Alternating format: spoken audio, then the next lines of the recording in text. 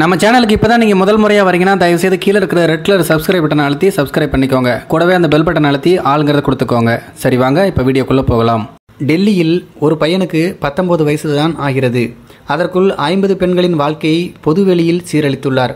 ஏகப்பட்ட பணமும் சம்பாதித்துள்ளார். இப்போது கம்பு எண்ணிக்கொண்டிருக்கிறார் என்னதான் நடந்தது அப்படிங்கிறத இப்போ நம்ம பார்க்கலாம். டெல்லி பரிதாபாத் நகரை சேர்ந்தவர் ஒரு இளைஞர். அவருடைய பெயர் ரஹீம் கான். இவருக்கு பத்தொன்பது வயது ஆகிறது. படிப்பு ஒன்றும் ஏறவில்லை என்பதால் வெறும் எட்டாம் கிளாஸோடு பள்ளியை விட்டு நின்றிருக்கிறார். ஆனால் சோசியல் மீடியாவில் இருக்கும் மொத்த மொல்லமாரித்தனத்தையும் கரைத்து குடித்துள்ளார். மார்பிங் செய்யும் பல்வேறு ஆப்களை இவர் பயன்படுத்துவதை வழக்கமாக வைத்திருந்திருக்கிறார். அதை வைத்து போலி அக்கவுண்டுகள் நிறைய ஆரம்பித்திருக்கிறார். அதை வைத்து பல பெண்கள் சிறுமிகளுக்கு குறிவைத்துள்ளார். அவர்களது போட்டோக்களை எடுத்துக்கொள்வாராம். அதை ஆபாசமாகவும் கவர்ச்சியாகவும் மார்பிங் செய்து விடுவார்.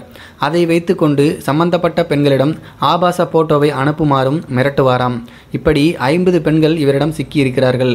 இவருடைய சேட்டிங் மொத்தமும் ஆபாசமும் அசிங்கமுமாய் குமட்டி கொண்டு வருகிறது. இறுதியில் இவரால் பாதிக்கப்பட்ட பெண் ஒருவர் போலீசில் புகார் அளித்தார். அதன் பேரில் வழக்கு பதிவு செய்த ஆர்பிபுரம் போலீசார் விசாரணையை ஆரம்பித்தார்கள். அதற்குள் ரஹீமேவை காணவில்லையாம்.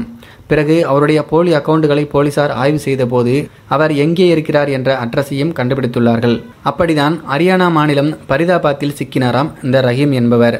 பிறகு அவரை கைது செய்து அவரிடம் நடத்திய விசாரணையில் செய்த அனைத்து குற்றங்களையும் அவர் ஒத்துக்கொண்டார்.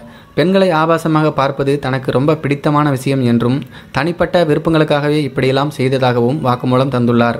இதனை அடுத்து அந்த காம கொடூரனிடம் இருந்து செல்போனை போலீசார் பறிமுதல் செய்து அதை ஆய்வு செய்தனர். அதை பார்த்தால் அதற்கு மேல் தூக்கி வாரி போட்டதாம். ஐம்பது பெண்கள் மட்டும் இல்லாமல் வேறு பெண்களின் ஆபாச வீடியோக்களும் இருந்துள்ளன.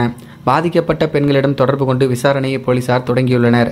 எத்தனை பேரை ரஹீம் ஏமாற்றினார்? எவ்வளவு பணம் மிரட்டி சம்பாதித்தார்? என்ற விசாரணையும் தொடர்ந்து நடைபெற்று வருகிறது. இதை பற்றி உங்களுடைய கருத்துக்கள் என்ன அப்படிங்கிறத கீழே இருக்கிற கமெண்ட் பாக்ஸில் தெரியப்படுத்துங்க. நன்றி வணக்கம்.